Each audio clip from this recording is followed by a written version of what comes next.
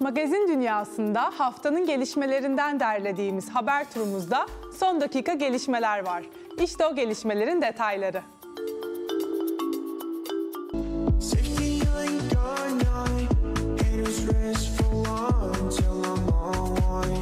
Magazin dünyası hareketli bir haftayı geride bıraktı. İşte magazin dünyasından son haberler. I'm left wondering why I could bring my own heart.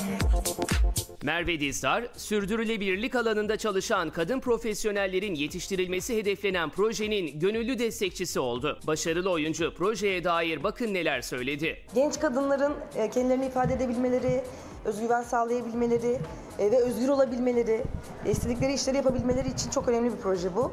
E, Ben de buna destek sağlayabilirsem, katkıda bulunabilirsem ne hala. Hadise, Seda Bakan, Şükrü Özyıldız ve Serhat Teoman'ın başrollerini paylaştığı romantik komedi projesi olan Esas Oğlan'ın tanıtımı yayınlandı.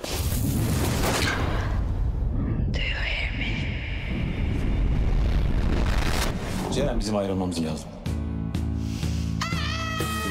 İlk kez bir dizide rol alan Hadise, esas olan için iki şarkıya imza attı. İlk şarkı, Santiana'nın Miss America adlı şarkının Türkçe uyarlaması olan Baksana Bana, Hadise'nin yorumu ve düzenlemesiyle yeniden hayat buldu.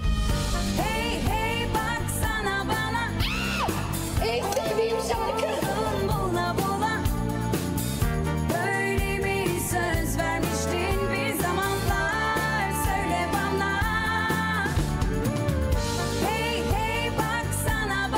Yavuz Bingöl 6 yıldır birlikte olduğu Nişah Ağaoğlu'yla Ayvalık'ta sade bir törenle evlendi.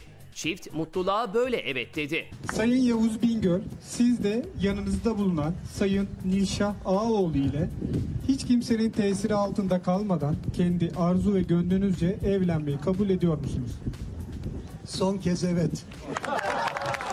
Yavuz Bingöl ve Nilşah Ağaoğlu çiftinin nikah şahitleri arasında Oktay Kaynarca ve Elif Buse Doğan da vardı. Sayın şahitlerimiz, çiftimizin evlenmek istediklerini duydunuz. Sizler de bu evliliğe şahitlik etmek ister misiniz?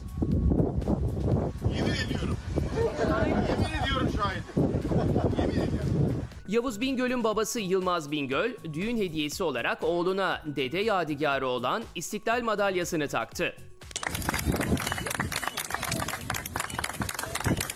Her zaman ailenin en büyüğünde olur.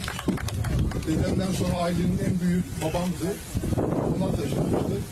Babam da e, hayattayken abime vermek istedi.